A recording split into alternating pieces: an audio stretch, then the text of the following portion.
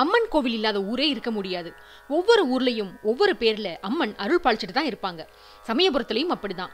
இங்க மாரியம்மன்ற பேர்ல அம்மன் விட்டு இருக்காங்க பொதுவா அம்மன் முகம் அரக்கனை அழிக்கிற ஆக்ரோஷத்துல இருக்கதால கோபமா தான் இருக்கும். ஆனா சமயபுரத்துல சாந்தமே வடிவா மாரியம்மன் காட்சி தராங்க. சிரிச்ச முகத்தோட தரிசனம் தர மாரியம்மனை பார்க்கும்போது தன் தாயை பார்க்கிற குழந்தைக்கு எப்படி ஆனந்தம் கிடைக்குமோ அதே ஆனந்தம் கிடைச்சு பதிலுக்கு நாமும் அம்மனை பார்த்து சிரிக்கணும்னு தோணும். அப்படி ஒரு பாந்தமான முகம் கொண்டவங்க சமயபுரம் மாரியம்மன். சமயபுரம் முற்காலத்துல கண்ணபுரம்னு அழைக்கப்பட்டுச்சு. அதனால சமயபுரம் மாரியம்மனை கண்ணபுரத்தால் கண்ணாத்தாள்னு அழைப்பாங்க. இந்த அம்மன் சுதை சிற்பத்தால ஆனவங்க. மூலிகைகளாலோ சுண்ணாம்பு கலவையாலோ களிமண்ணாலோ செஞ்ச சிற்பங்களை தான் சுதை சிற்பம்னு சொல்லுவாங்க. இந்த மாதிரி சிற்பங்கள் சுலபமா சேதாரமாக வாய்ப்பு இருக்கதால மூலவர் மாரியம்மனுக்கு அபிஷேகம் கிடையாது. உற்சவருக்கு மட்டும்தான் இங்க அபிஷேகம் செய்யப்படுது. அம்மனோட கரங்கள்ல கத்தி கபாலம் சூளம் மணிமாலை வில் அம்பு உடுக்கை பாசம் இவைகளை ஏந்தியிருக்காங்க. உண்மையில மாரியம்மன் ஸ்ரீரங்கம் ரங்கநாத சுவாமி திருக்கோயில்ல தான் இருந்திருக்காங்க. அம்மனோட உக்ரத்தை தாங்க முடியாததால அப்போ இருந்த ஜீயர் அம்மன் திருவுருவத்தை வேறொரு இடத்துக்கு மாத்தணும்னு ஏற்பாடு செஞ்சிருக்காரு. சிலையை சுமந்துட்டு வந்தவங்க இலைப்பாடுறதுக்காக சிலையை ஒரு இடத்துல இறக்கி வச்சிருக்காங்க. அந்த இடம்தான் இப்போ இனம் சமயபுரம்னு அழைக்கப்படுது. இந்த நினைவா சமயபுரம் கோயில் திருவிழாவோட எட்டாம் நாள் ஒரு இரவு மாரியம்மன் இந்த இனாம் சமயபுரத்துல தங்குறாங்க. களைப்பார்னவங்க அந்த சிலையை கொண்டு போய் கண்ணனூர் அரண்மனை மேடுல ஒரு இடத்துல வச்சாங்க.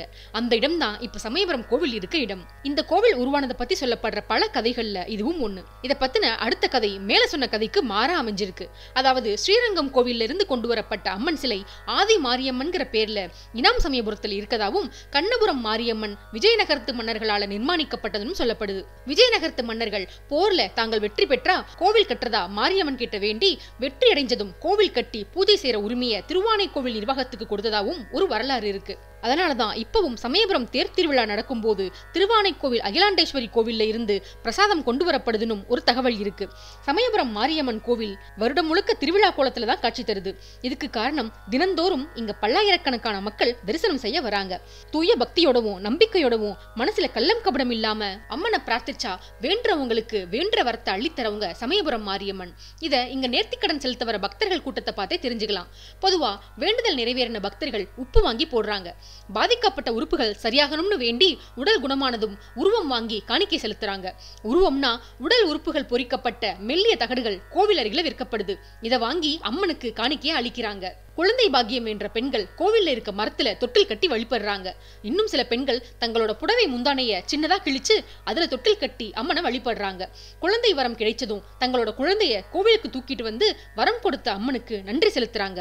திருமணம் ஆகாத பெண்களுக்காக அவங்க தாய்மார்கள் மடிப்பிச்சை எந்திராங்க நோய்வாய்ப்பட்ட கணவனுக்காக வேண்டி கணவன் குணமானதும் பெண்கள் தங்களோட தாலியே கழட்டி உண்டியல்ல போடுற அதிசயமும் இங்கு நிகழ்ந்துட்டு வருது.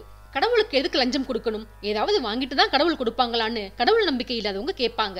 உண்மை என்னன்னா நாம எதை கடவுளுக்கு காணிக்கையா கொடுக்கிறோமோ அது இந்த உலகத்துல இருந்து தான் எடுக்கப்பட்டது. அந்த கடவுளே நமக்கு கொடுத்தது தான் அது. கேட்டதையெல்லாம் கடவுள் சும்மாவே செஞ்சுட்டா அப்புறம் கேட்கிற நாமளே எல்லாத்தையும் வாங்கிட்டு கடவுள் ஆயிருவோம் இருந்தாலும் கடவுள் நம்ம கிட்ட அது வேணும் இது வேணும்னு கேட்கறது இல்ல பக்தியோட நாம என்ன செஞ்சாலும் அம்மன் அதை ஏத்துக்கிட்டு அருள் பாலிச்சிட்டு வராங்க. பொதுவா பக்தர்கள் தங்களுக்கு நல்லது நடக்கணும்னு வேண்டி கடவுளுக்கு விரதம் இருப்பாங்க.